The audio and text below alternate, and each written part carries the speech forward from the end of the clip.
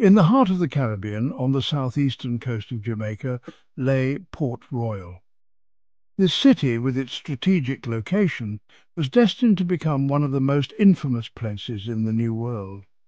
Founded in 1518, this bustling port city was a jewel in the crown of the British Empire.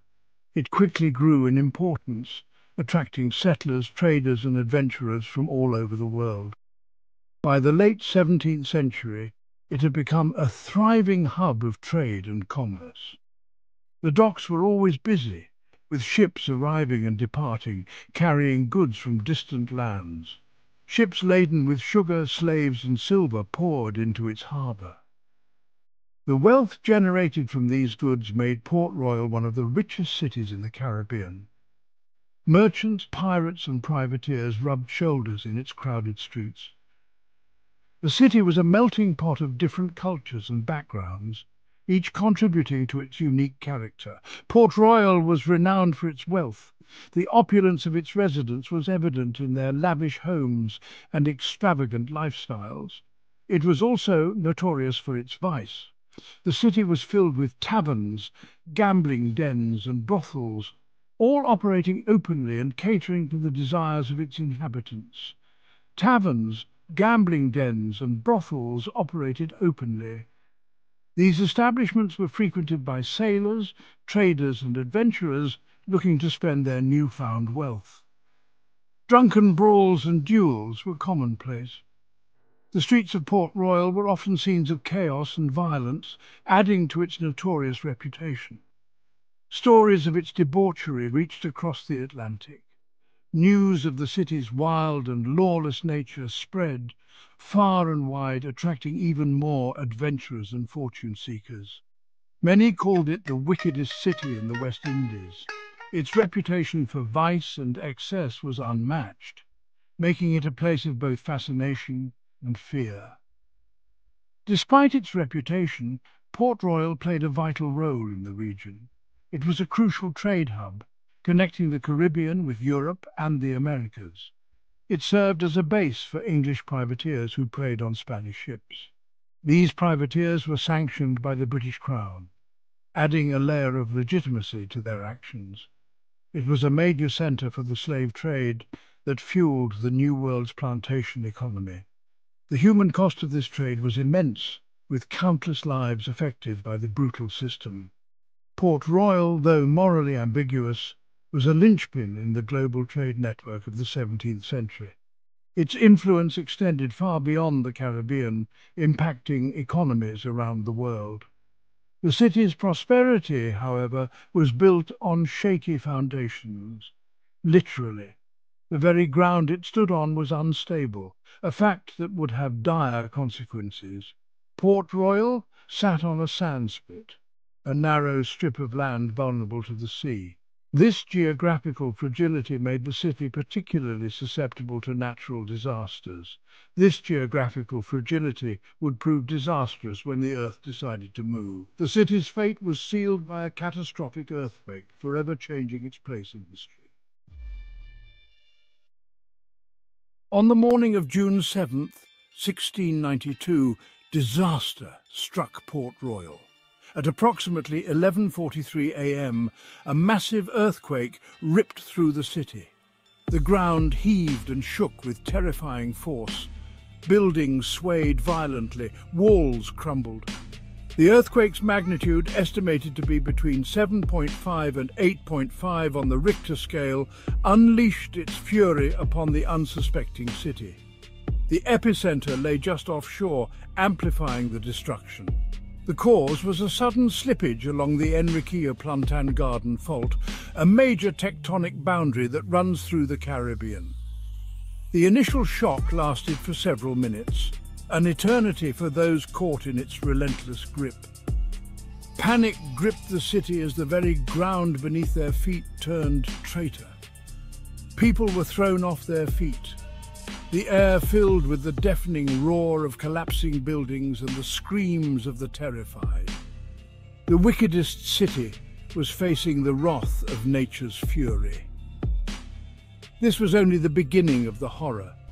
The earthquake was merely a prelude to a cascade of catastrophic events that would forever etch this day in history. The earthquake's impact on Port Royal was immediate and catastrophic. Buildings, once symbols of prosperity, were reduced to rubble and dust. The shaking liquefied the sandy ground, causing structures to sink deep into the earth. The city's wharves and docks, bustling with activity only moments before, collapsed into the harbour. Eyewitness accounts describe the scene as apocalyptic and terrifying. The earth opened up, swallowing buildings and people whole. The streets were littered with debris, the air thick with dust and the smell of death. Those who survived the initial tremors found themselves trapped amidst the ruins. The exact number of casualties remains unknown, but it is estimated that over 2,000 people perished in the earthquake. The dead included wealthy merchants, enslaved Africans and notorious pirates, all united in death by this indiscriminate disaster. The city that had once pulsed with life was now a graveyard. But the horrors of that day were far from over. The earthquake had triggered another deadly threat lurking just beneath the waves. Section 4 the tsunami's wrath, a wall of water engulfing the harbour. This chapter delves into the terrifying power of nature as the sea turned into an unstoppable force of destruction. As the earth settled, the sea receded from the harbour, an ominous sign of the impending doom. The sudden retreat of the ocean was a harbinger of the disaster that was about to unfold, leaving the harbour eerily empty and silent. Minutes later, a series of massive waves, triggered by the seismic upheaval, crashed into Port Royal. The waves, driven by the immense energy released from the earthquake, surged forward with relentless force. These tsunamis, some reaching heights of over 30 feet, swept over the shattered city, completing the work of destruction. The towering walls of water obliterated everything in their path, leaving no structure untouched. Ships anchored in the harbour were tossed about like toys. The once mighty vessels were now at the mercy of the waves, their anchors useless against the sheer power of the tsunami. Some were carried far inland, deposited in the wreckage of the city. These ships, now stranded amidst the ruins, became part of the chaotic landscape of destruction.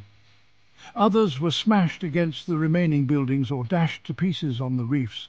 The relentless waves showed no mercy, breaking apart the ships as if they were mere twigs.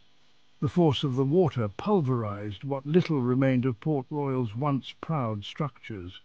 The city, known for its grandeur, was reduced to rubble in a matter of moments. Those who had survived the earthquake now faced a watery grave. The survivors, already traumatized by the quake, found themselves battling against the overwhelming force of the tsunami. The towering waves swept people away, their screams swallowed by the roar of the ocean. The sheer volume of water and the speed of the waves made escape nearly impossible. The tsunami carried debris, bodies, and even cannons far inland, leaving a trail of destruction in its wake. The once bustling harbour was now a scene of chaos, with debris scattered everywhere. The harbour, once a forest of masts, was now a churning cauldron of wreckage.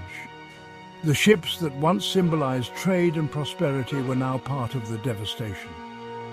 When the waters finally receded, they left behind a scene of utter desolation. The once vibrant port was now a ghostly landscape, marked by the scars of the tsunami. Port Royal, the vibrant heart of the Caribbean was gone, swallowed by the sea and buried beneath the sand. The city that once thrived with life and activity was now a silent testament to the power of nature. Section 5. The Aftermath. A city in ruins, a world transformed. In the aftermath of the earthquake and tsunami, Port Royal lay in ruins. The once bustling hub of commerce and culture was now a desolate landscape, a shadow of its former self. The once proud city was reduced to a wasteland of rubble and mud. Streets that had been filled with merchants and sailors were now unrecognizable, buried under debris.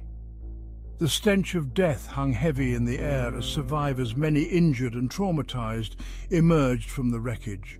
Their faces told stories of unimaginable horror and loss. The disaster had immediate and far-reaching consequences.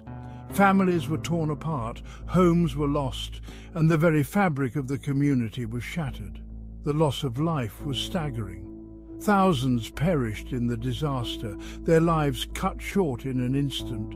The sheer scale of the tragedy was overwhelming. The destruction of Port Royal's infrastructure crippled trade in the region. The port, once a vital artery of commerce, was now inoperable, its docks and warehouses in ruins.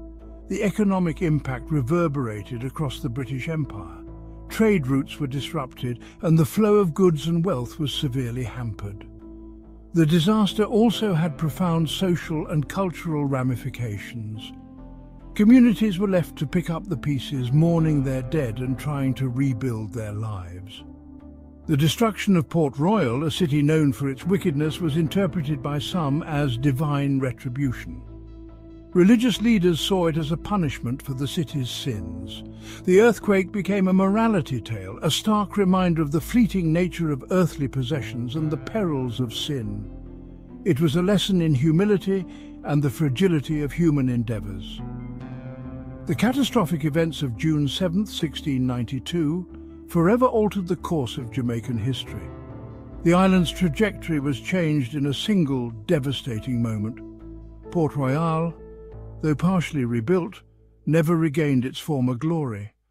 The scars of the disaster were too deep, and the city could not reclaim its past prominence.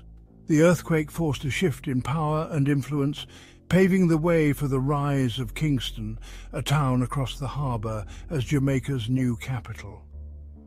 Kingston grew and flourished, becoming the new centre of trade and governance, a testament to resilience and renewal.